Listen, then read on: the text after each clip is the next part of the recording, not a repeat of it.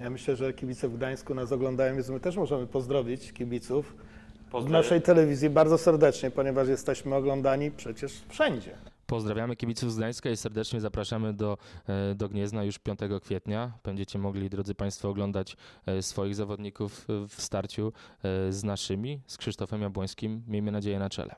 Ja wiesz co, też mam taki sentyment do Gdańska osobiście, ale będę kibicował za startem. No, ja, ja podobnie, rzeczywiście ja również. Krzysztof, mówiłeś o tym e, w jednym z poprzednich pytań, e, że doceniasz e, profesjonalizm obecnego zarządu, doceniasz profesjonalizm posunięć kadrowych, a także e, tego, co ogólnie dzieje się w klubie. E, Powiedz, czy zauważyłeś to, iż e, działacze z zarządem na czele również nietuzinkowo traktują Twoją osobę? Czy czujesz się odpowiednio doceniony, nawet można powiedzieć w pewnych kwestiach wyróżniony właśnie przez tych, przez tych ludzi, przez te osoby? Znaczy, y, jest mi niezmiernie miło, y, bo da się odczuć coś takiego, y, że jestem darzony jakimś tam e, szacunkiem. Y, Jest mi miło, że, że władze klubu konsultują niektóre rzeczy czy niektóre ruchy e, w klubie ze, z moją osobą. No jest, jest to e, miłe i bardzo budujące. na przyszłość i ogólnie dla dobrego wyniku klubu. Krzysztof, jak mówiliśmy na początku, Twój e, warsztat to nie tylko miejsce pracy, ale również miejsce, w którym e, eksponowane są wszystkie Twoje e, trofea, wszystkie pamiątki przez te no już ładnych kilka lat Twojej kariery. Tych pamiątek zebrało się mnóstwo. Ja chciałbym nawiązać do dwóch trofeów. Myślę, że zgodzisz się, że są to Twoje najważniejsze zdobycze. Mówię o tytule indywidualnego wicemistrza świata, wtedy w 98 roku w Pile jako no z pewnością nie faworyt e, tamtych zawodów. Udało Ci się zdobyć bardzo wysokie drugie miejsce, srebrny medal e, za Robertem Ladosem. Pamiętamy szczególny, e, szczególne e, chwile, jeżeli chodzi o ten turniej, ten pamiętny bieg dodatkowy. No, wtedy uznałeś wyższość nieżyjącego już Roberta Dadosa. A drugi turniej, o który chciałem Cię zapytać i drugie trofeum, myślę, związane ze szczególnym dla Ciebie, a także dla wszystkich gnieźnian miejscem. Mam na myśli węgierski Miszkolc. Tam w 2006 roku udało Ci się zdobyć tytuł indywidualnego e, mistrza Europy. E, W rozmowie przed naszym nagraniem wspomniałeś, że w Miszkolcu nie przegrałeś jeszcze ani jednego biegu.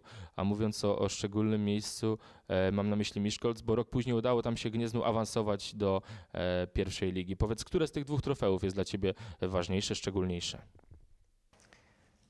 Wydawać by się mogło, że, że medal rangi światowej jest y, wyższy niż y, medal rangi europejskiej.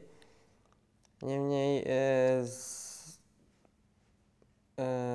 od 2006 roku, kiedy udało mi się tego mistrza Europy zrobić, nikt z Polaków tego tytułu na razie nie powtórzył.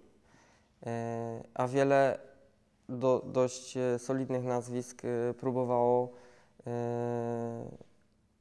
ten tytuł zdobyć. Także wydaje mi się, że, że można tą moją e, ponad 15-letnią e, hi- historię z żużlem e, podzielić na takie e, dwa e, etapy, ten juniorski i ten e, seniorski. Ten, i, nie- chciałbym tutaj e, w jakiś sposób e, mówić, który, który, z tych, e, które z tych trofeów jest wyższe. Tam to było na pewno numerem jeden jako, jako juniora, a kilka lat temu, kiedy udało mi się zdobyć ten e, tytuł wśród seniorów, jestem z niego dumny, bo to tak e, urastało do rangi e, trofea drugiej ligi, którym nikt się nie interesuje, niemniej tam naprawdę niezłe nazwiska próbują ten tytuł zdobyć i, i biorą udział w tych zawodach i to jeszcze bardziej jest takie dla mnie budujące. Po tych wielu latach ścigania mogłeś e, wreszcie na swoim e, samochodzie e, przykleić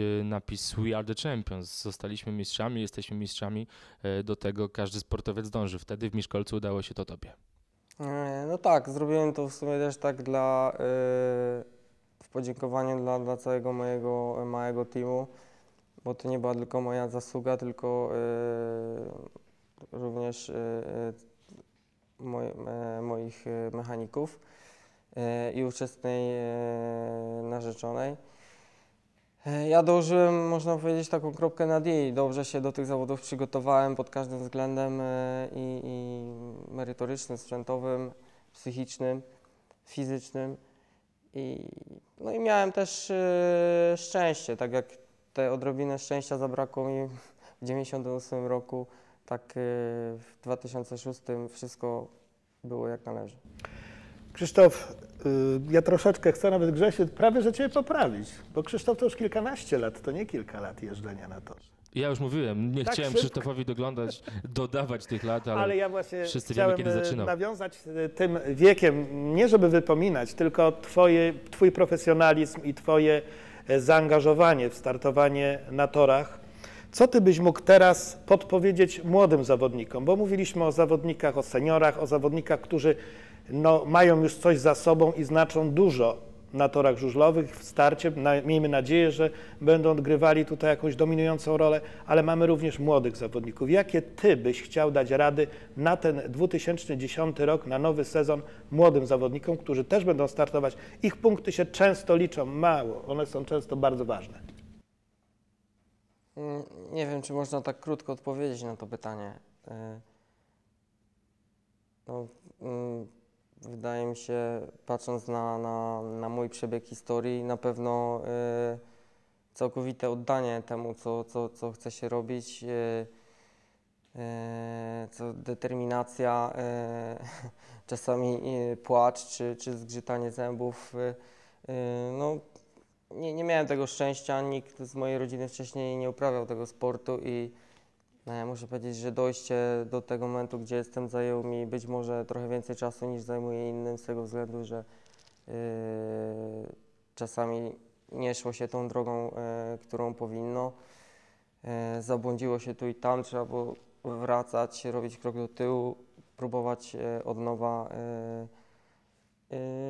No ale na pewno determinacja, na pewno e, upór. e, No i mogę powiedzieć, że żeby każdy z nich podpatrywał e, tylko i wyłącznie najlepszych na świecie. Nie, nie, nie mnie, nie innych kolegów takich, można powiedzieć, średniego pokroju, tylko zawsze wzorować się na, na mistrzach świata.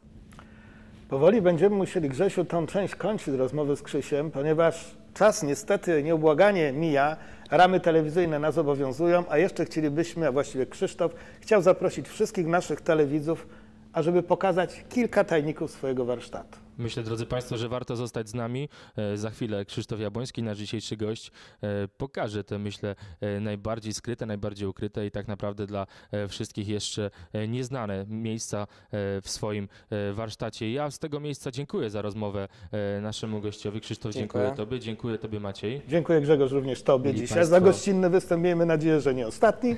Mieli Państwo, tak jak mówiłem, zostańcie z nami. My kończymy tą część naszego programu, ale już za chwilę sprawdzimy, co kryje się w warsztacie Krzysztofa Jabłońskiego. Krzysztof Jabłoński w swoim królestwie.